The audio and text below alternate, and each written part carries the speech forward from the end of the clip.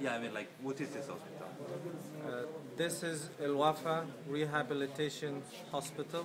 We've been here in this uh, building and the next building since 1996, so we are not new at this location. We are not new uh, for the Israelis. They know this building and they know us. Uh, we know the services that we provide.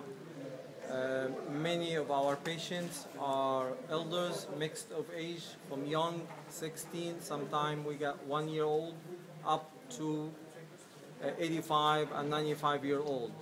Uh, all of them, they are unconscious, paralyzed, unable to move, uh, helpless. Uh, we cannot leave them alone. They need uh, 24 hours of services. Last week, we were hit by four missiles from the Israeli army. Uh, the missiles hit the east side of the building, damaged, property damaged. Luckily, with the grace of God, uh, nobody was hurt.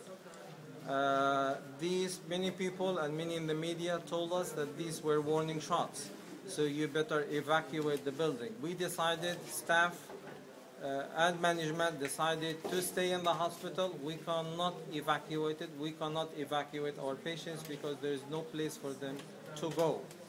Uh, so safely for the last four or five days, nothing had happened to the hospital, no hit, no targeted. Yesterday, about 11.05, uh, our staff here received a call identified by this is the Israeli forces.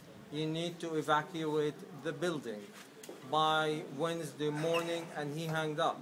Panics, fear, running left and right. People didn't know what to do, but they controlled themselves and they decided to move the patients from the first floor to the ground floor for their safeties. Five minutes later, they received a recording call saying that you need to evacuate. There is a massive operation uh, uh, will uh, come in your area at early morning Wednesday. Uh, fear, confused our patients and our nurses. Uh, so they start quickly moving the patients, but they determined not to leave the building. We are staying.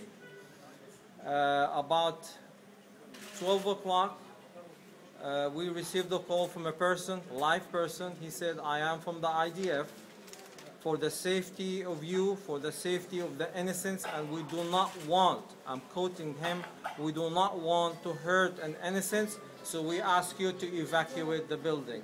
And he said it not once, but twice and three times, asking us to leave uh, by 8 o'clock in the morning. the doctor in duty, Dr. Hassan, he called me, he said, what to do? I said, this is a hope. We are not leaving. We are staying. These patients uh, that you see behind me, they are helpless. They cannot move. They cannot eat. They cannot do anything but with the help of us. They need a 24 hours service. If a fire came through these patients, it will burn them inch by inch without even them feeling the burn in their feet on their hand. So under humanity law, under the conscience law that we have, I cannot leave them by themselves. So we decided to stay.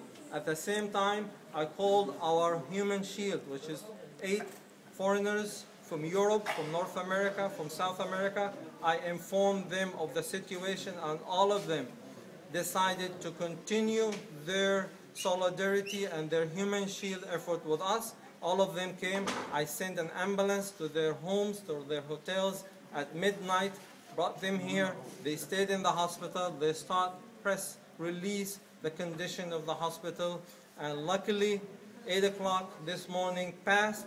Nothing happened. I think the effort of them and the effort of other organizations and TV shows and radio shows that they heard us and they heard our call. I think the Israeli has determined we are not going to hit this hospital.